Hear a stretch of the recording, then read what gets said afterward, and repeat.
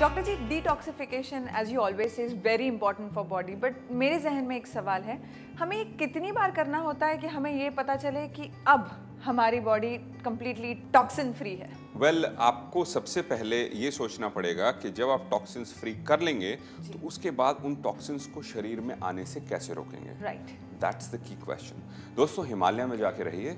वहाँ पर साधु महात्माओं के साथ मेडिटेशन कीजिए।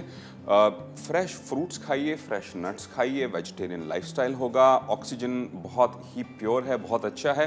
उस टाइम पे आपको डिटॉक्सिफिकेशन की ज़रूरत नहीं होगी लेकिन अगर आप लेना चाहते हैं तो रेकमेंड करूँगा दो गोली और तीन गोली में भी कोई नुकसान नहीं लेकिन जिनका वज़न 100 किलो से ज़्यादा होता है उनको डेफिनेटली तीन गोली सुबह और तीन शाम को लेनी चाहिए उसके साथ साथ छः महीने का कोर्स कीजिए उससे आपको अंदर से पूरी क्लेंजिंग मिलेगी लेकिन अगर हम स्नेहल के केस में लें तो आपको सिर्फ़ दो गोली सुबह लेके okay. काफ़ी है once. और आप वंस okay. खाली पेट के ऊपर लेकिन बाकी लोगों को जिनके अंदर वेट गेन की ज़्यादा प्रॉब्लम आती है तो वहाँ पर डेफिनेटली इसको छः महीने का कोर्स कीजिए।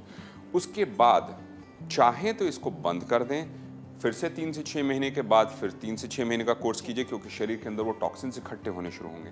दूसरी ऑप्शन है कि उसको मेंटेनेंस डोजेज के अंदर एक गोली सुबह, एक शाम को, या सिर्फ़ दो गोली सुबह खाली पेट लेते रहिए, वो भी काफ़ी है।